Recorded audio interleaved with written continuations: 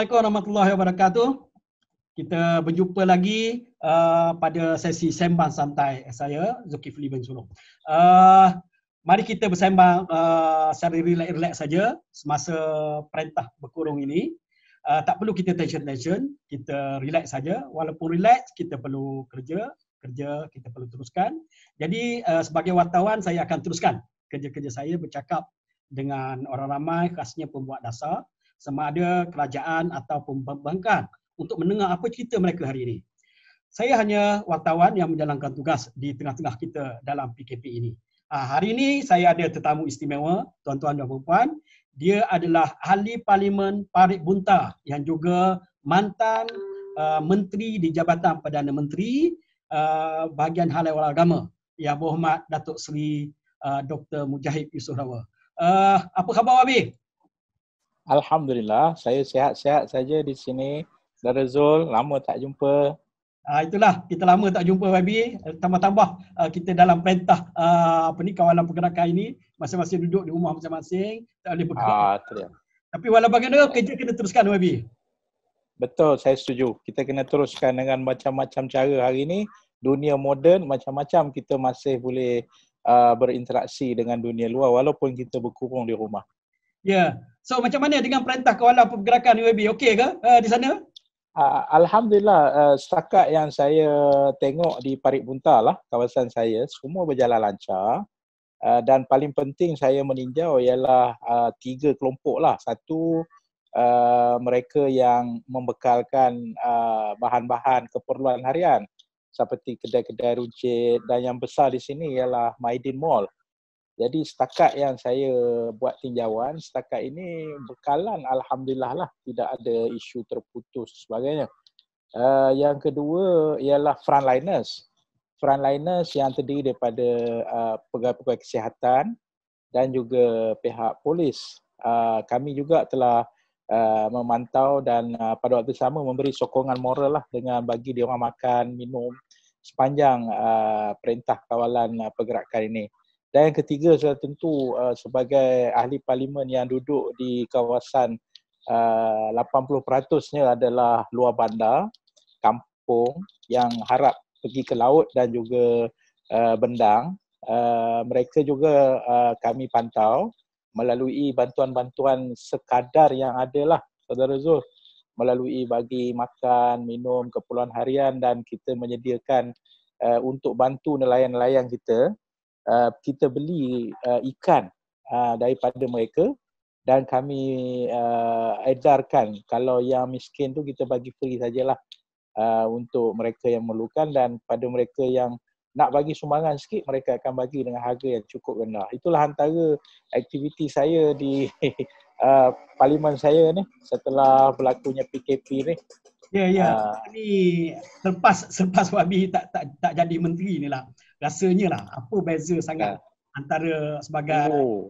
seorang menteri kerajaan yang sibuk hari-hari dengan sekarang lah. Uh, uh, Abi banyak habis di kawasan tu Abi banyak banyak beza sebenarnya sangat sangat berbeza paling utama saya uh, dapati ialah waktu lah dulu pun bila orang tanya uh, macam mana sekarang YB dah jadi menteri saya selalu sebut masalah uh, yang saya hadapi uh, waktu jadi menteri ialah masa.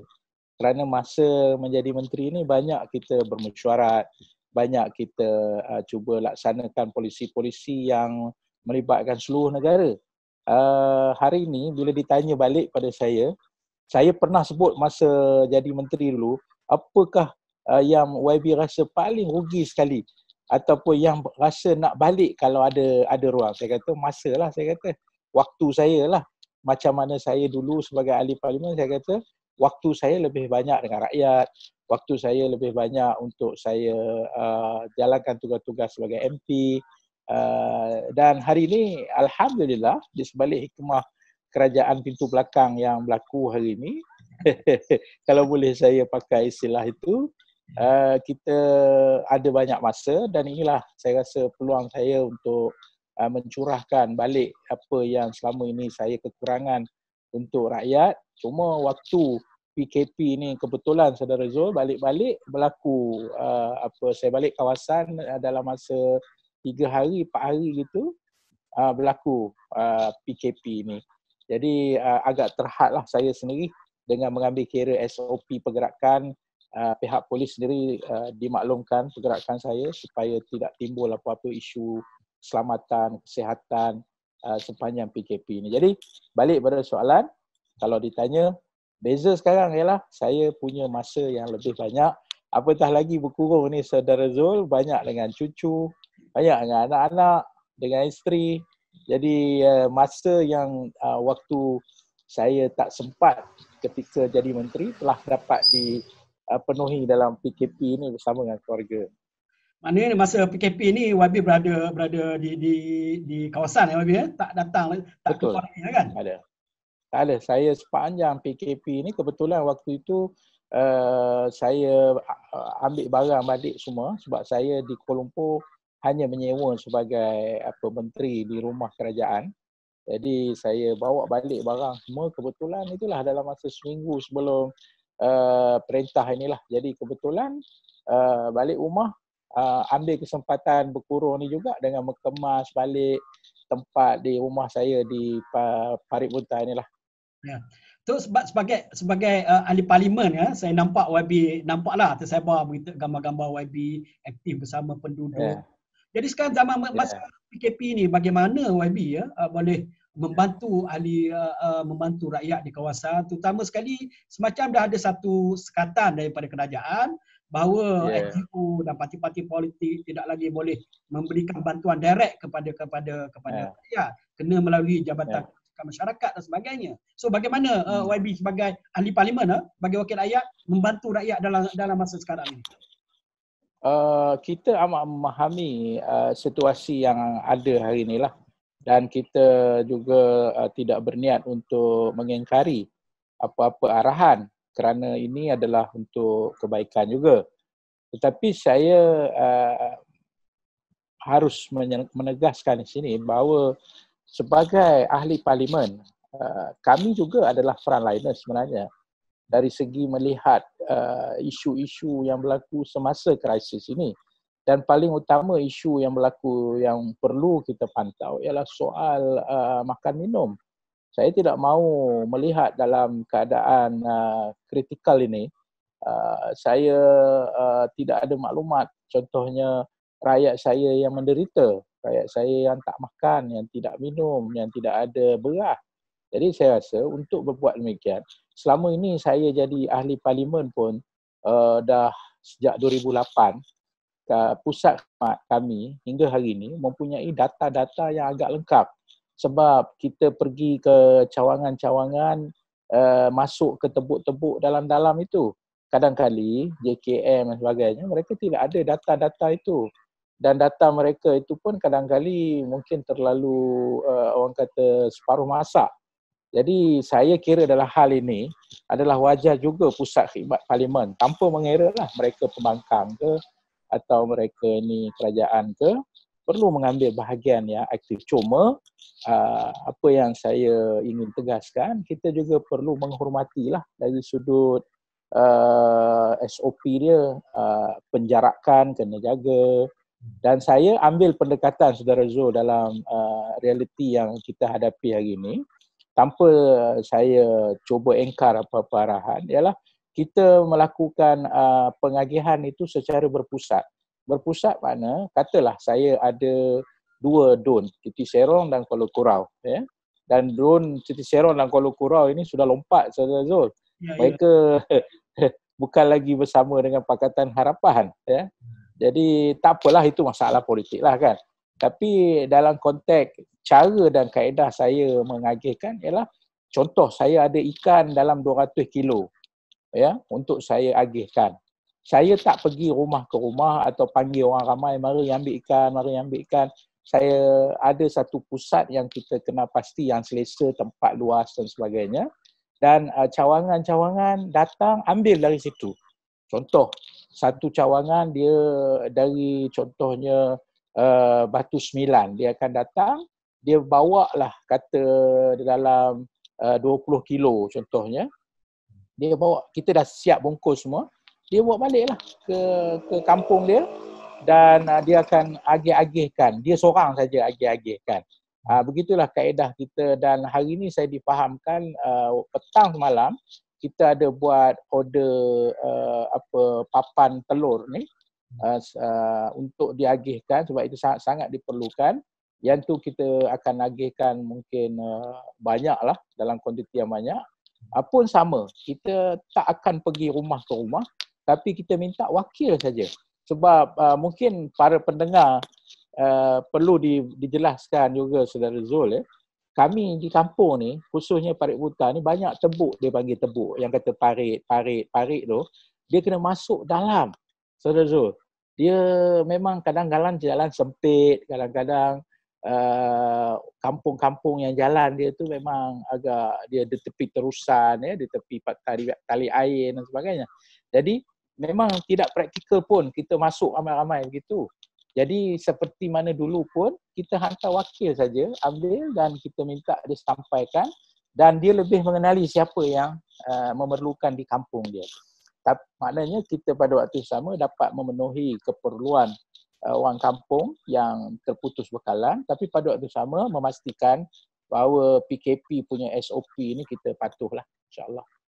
Ya, saya Itulah percaya kaedah dan cara dia. Ramai uh, Wabi uh, kawasan Wabi ni Parit Bunta ni agak pendalaman ya. Uh, tidaklah bandar sangat kan. Hanya ya, betul. Dan tentu ramai orang susah ya. terkesan daripada PKP ni Wabi. Sangat sangat. Ya. Sebab saya boleh uh, kongsilah dengan saudara Zul yang rakan-rakan yang mendengar ni. Uh, mereka terdirinya uh, majoritinya adalah nelayan dan ya. yang turun bendang. Ya. Dan bayanglah kalau nelayan saya sendiri melihat eh ikan-ikan yang mereka tangkap uh, yang nelayan pesisiran pantai lagi kesian kan. Mereka tangkap ikan uh, tak ada siapa, tak ada pembekal yang nak ambil dalam keadaan sekarang.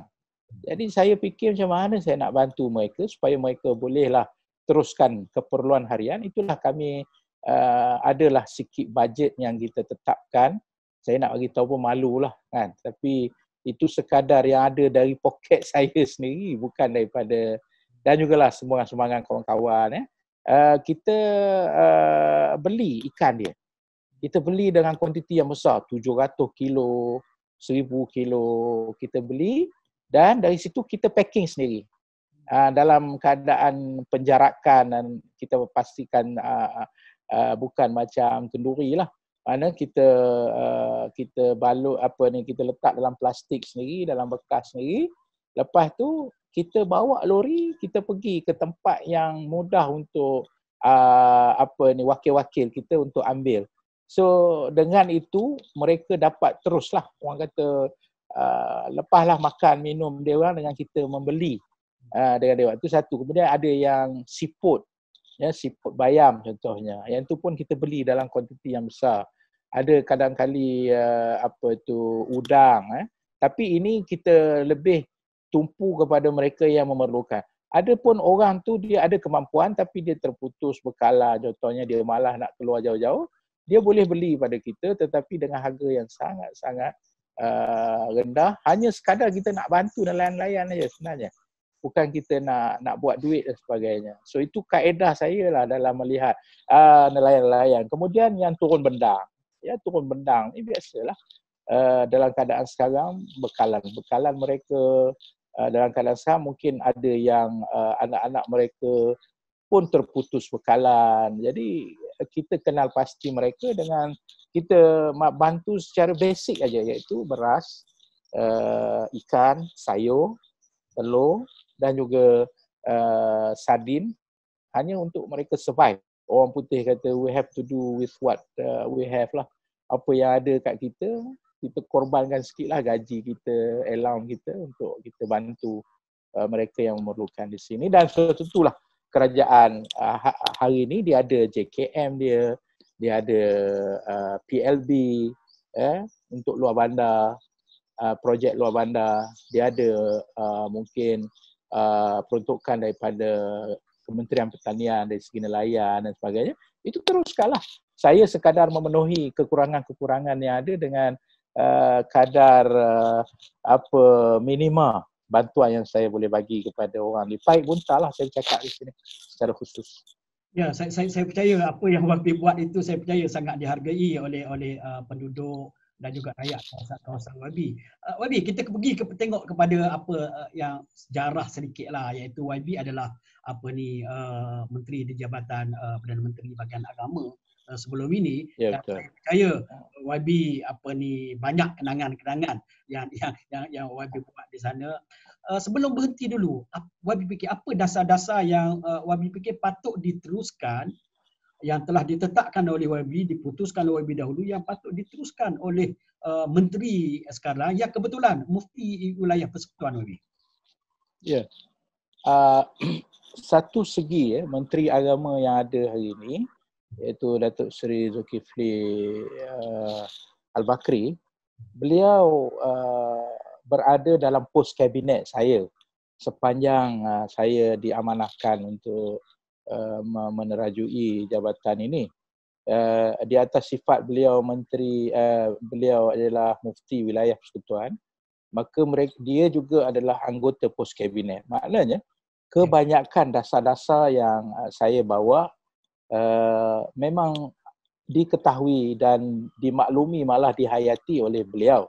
Begitu juga dengan isu-isu yang uh, berlaku dalam negara kita.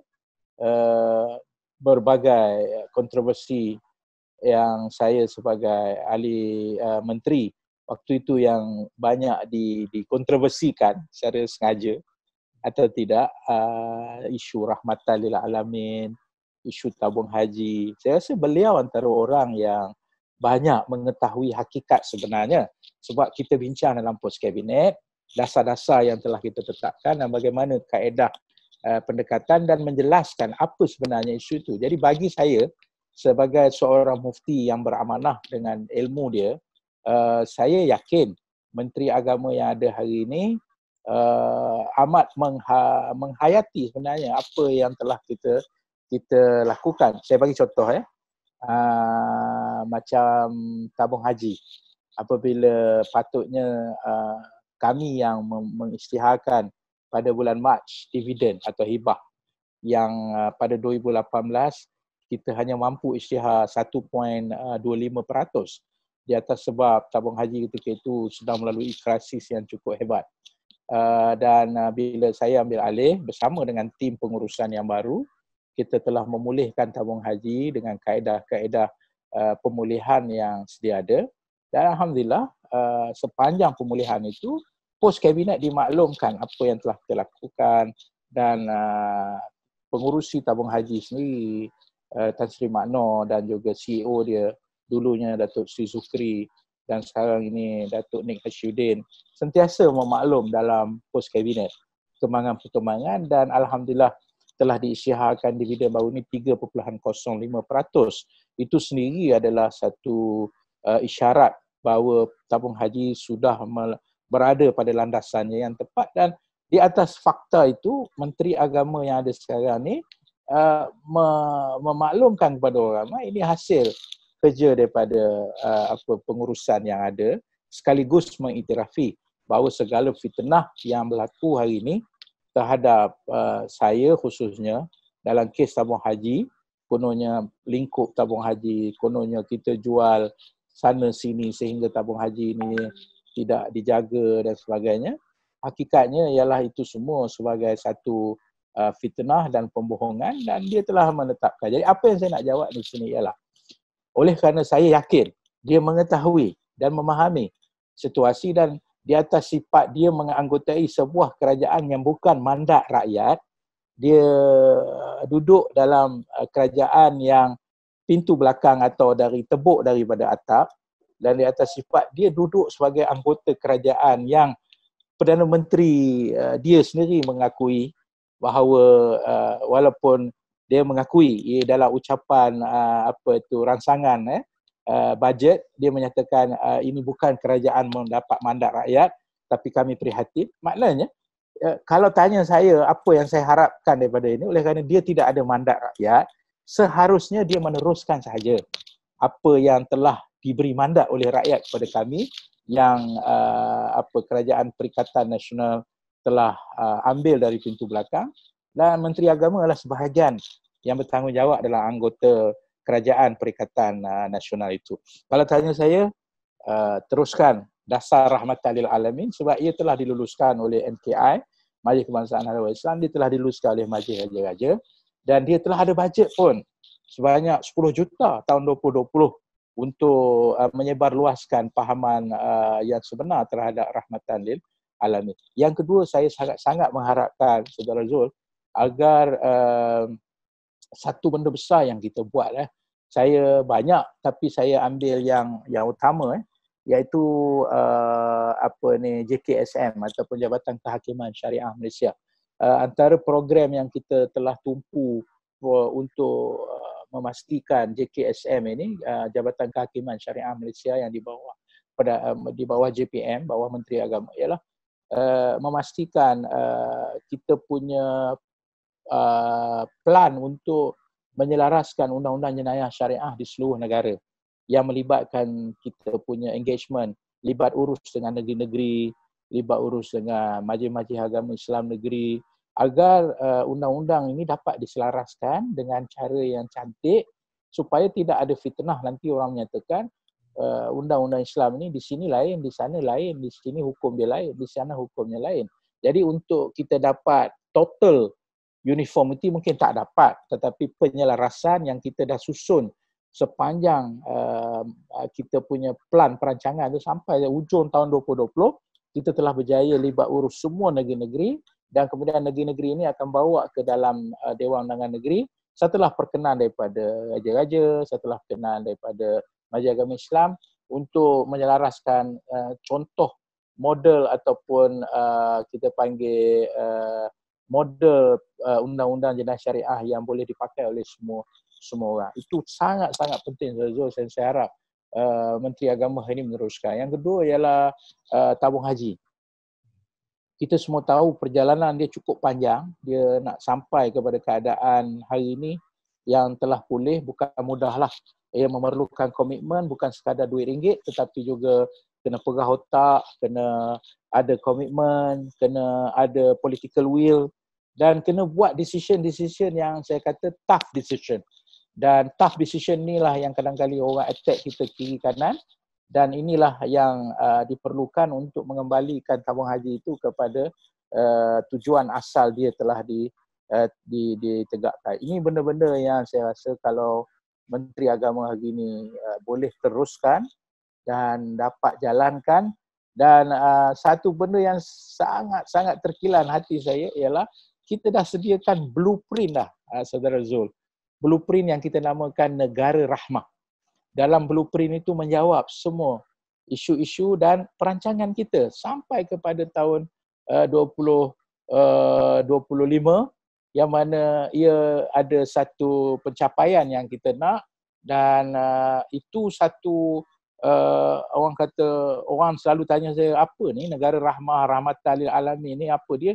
Ya itu sebenarnya duduk di dalam blueprint itu. Tapi malangnya ah, pintu belakang ambil semua ini, saya haraplah Menteri Agama yang adalah sebahagian daripada anggota kabinet kerajaan pintu belakang ini, ah, beliau ambillah inisiatif di atas sifat beliau yang tahu apa yang kita buat ini tidak bercanggah dengan Islam, malah ia baik untuk ah, negara ini. Wabi, eh, kita masuk soalan ni agak agak agak, agak panas sikit soalan ni tetapi saya kena jawab tanya uh, kepada Wabi. Semasa jadi Wabi jadi menteri dulu, uh, Wabi ada banyak berkomunikasi dengan semua orang termasuk apa yang dinamakan sebagai golongan LGBT.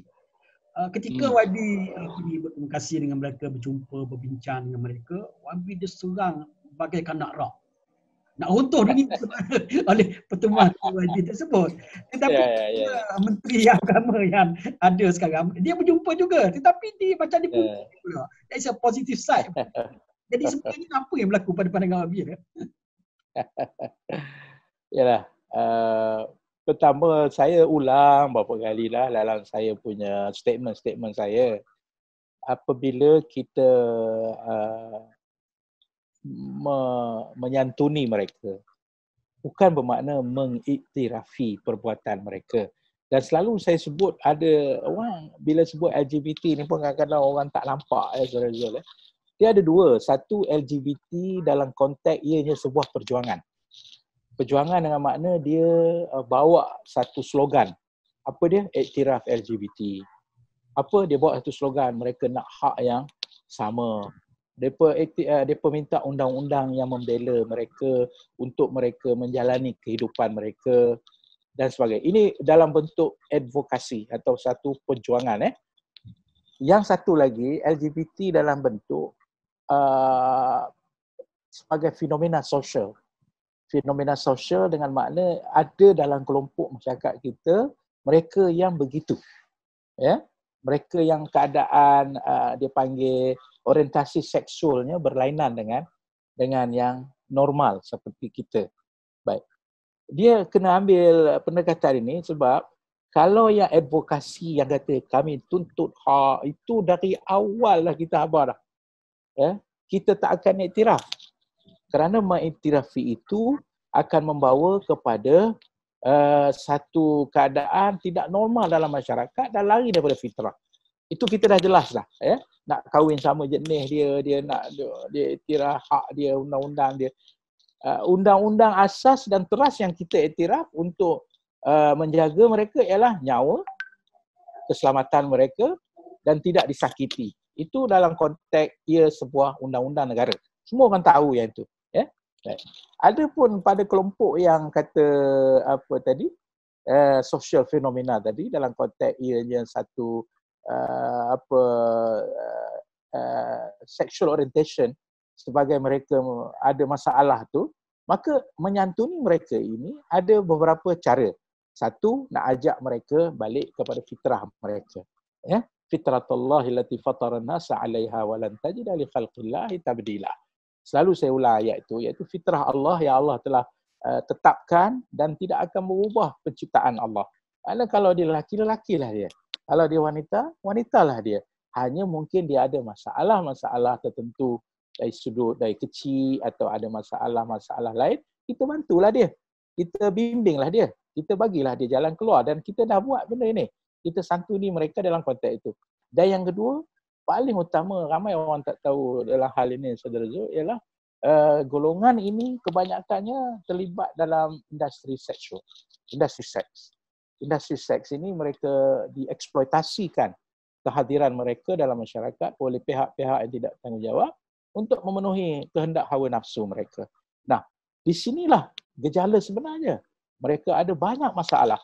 Mereka disisih oleh masyarakat, mereka terlibat menyebabkan kesihatan mereka itu uh, dalam keadaan uh, yang bahaya dan kadang-kali mereka terlibat dalam jenayah dan sebagainya. Maka kita menyantuni mereka untuk keluarkan mereka daripada uh, kancah ini supaya mereka dapat diselamatkan dulu dan ketika itu kita terpaksa uh, apa menyantuni mereka dan memang ada program-program daripada Majlis Agama Islam Wilayah Persekutuan NGO-NGO malah uh, kerajaan negeri Selangor melalui fatwa yang dikeluarkan Saudara Zul jangan lupa ya golongan ini diletakkan di bawah kategori ar-riqab iaitu mereka yang menjadi hamba.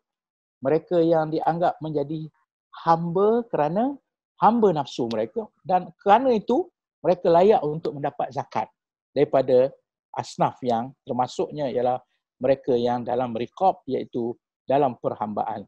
Jadi bukanlah kata kita bagi duit ke dia tapi NGO yang bantu mereka untuk keluar daripada perhambaan hawa nafsu ini maka mereka diberikan zakat untuk tujuan tersebut. Maknanya Itulah yang saya cuba buat selama ini.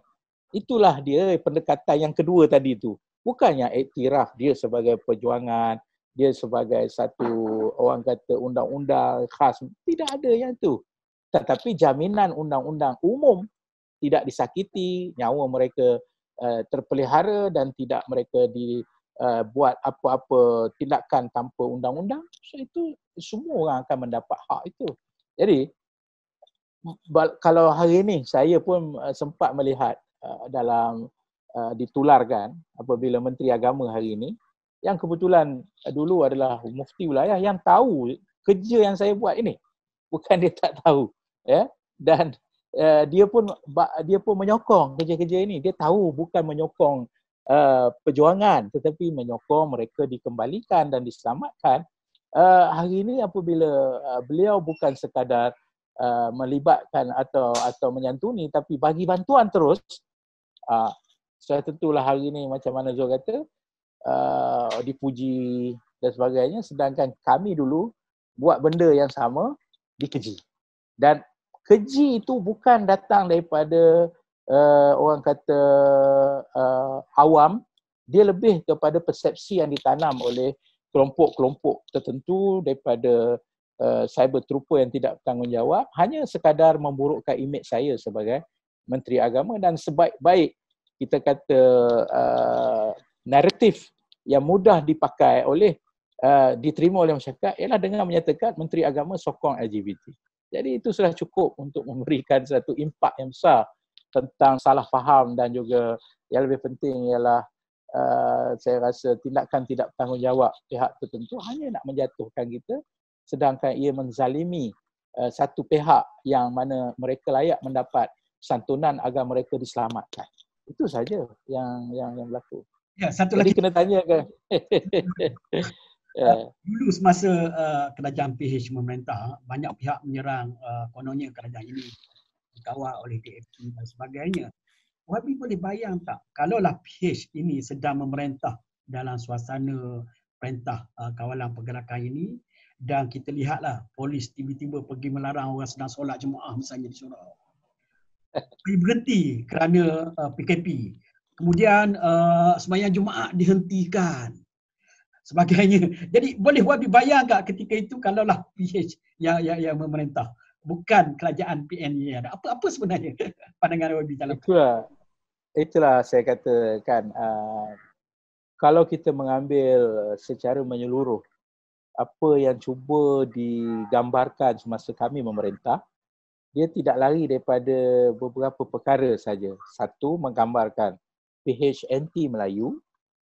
Kedua PH anti-Islam. Ketiga, PH adalah merupakan uh, tunduk kepada kehendak DAP. Ini tiga perkara yang dia main dalam panj- sepanjang 22 bulan kami menjadi kerajaan.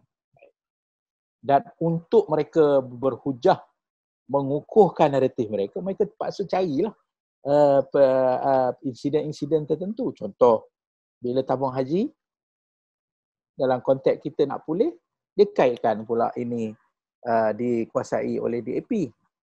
Uh, dalam konteks uh, kita kata Islam rahmatan lil alamin, maka dikaitkanlah rahmatan ini adalah liberal dan liberal ini adalah perjuangan DAP.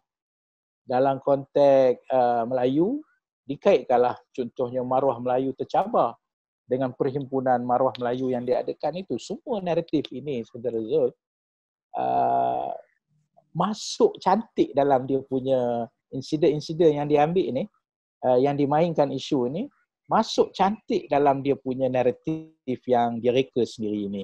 Dan uh, apabila itu berlaku, maka dia akan ambillah insiden-insiden uh, yang contoh ya, uh, sajat contohnya. Pergi Mekah, buat umrah. Dikaitkan benda itu dengan Menteri Agama dikaitkan benda itu, ha, tengok kerajaan PH ni, LGBT pun boleh pergi buat umrah contohnya. Uh, dalam hal uh, contohnya lagi adib, dikaitkan dengan adib dengan uh, nuansa rasis dengan menyatakan ini adalah kegagalan kerajaan PH membela orang Melayu contohnya. Semua isu-isu ini dimainkan begitu rupa untuk menggambarkan jahatnya kita. Baik. Hari ini kita tahu naratif itu tak betul. Kita dah jelas benda itu daripada daripada awal tak betul.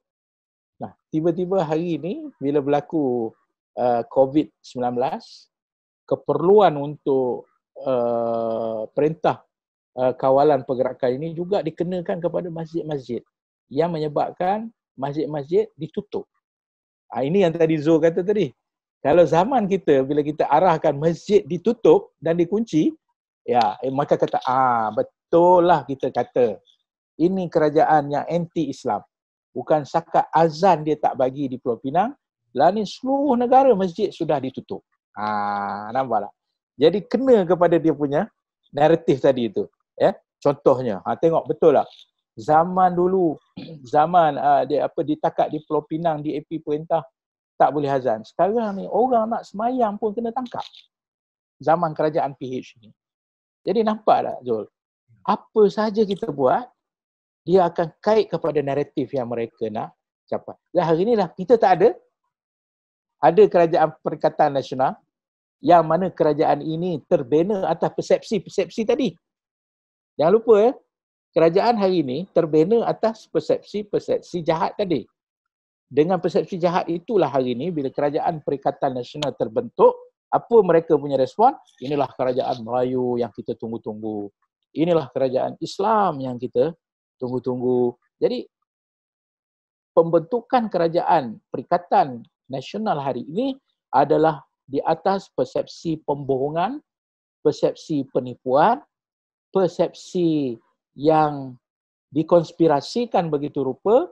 Jadi sebab itulah hari ini kerajaan Pakatan Perikatan Nasional tak dapat nak mentadbir negara dengan baik sebab mereka terbina di atas persepsi yang jahat itu untuk mendapat kuasa pada pada hari ini. Dan PAS bersekongkol, AMNO bersekongkol, pengkhianat bersatu dan juga dari PKR membentuk. Bayangkan kalau sebuah kerajaan terbentuk atas pengkhianatan, sebuah kerajaan terbentuk atas penipuan, kerajaan yang terbentuk atas uh, menggunakan isu yang dari awalnya tidak betul untuk memerintah, hari ini mereka terpaksa telan apa yang mereka uh, cakap semua itu dan terbukti sudahlah bahawa apa yang kita buat sebenarnya sebelum ini adalah benda yang betul hanya dirompak oleh persepsi-persepsi jahat ini. Ya, banyak sekali YB yang kita boleh bincangkan di sini tetapi uh, yalah masa tidak tidak tidak tidak mengizinkan kita untuk berbual lebih panjang. Saya percaya hmm. uh, pendengar di luar sana takkan uh, puas, takkan jemu dengan perbincangan ini. Saya percaya YB sudi untuk untuk bertemu dengan kita di sesi sesi yang akan datang. Tapi untuk kali ini YB, terima kasih banyak kerana sudi bersama saya dalam Sama-sama. sempena PKP ini. Semoga kerja baik yang YB buat diterima uh, baik oleh Allah sebagai amal soleh. Terima kasih YB. Kita jumpa lagi dalam sesi-sesi yang akan datang. InsyaAllah. Relax. YB. Kita okay. uh, peace. Okay. Sekian. Assalamualaikum warahmatullahi wabarakatuh. Waalaikumsalam warahmatullahi wabarakatuh.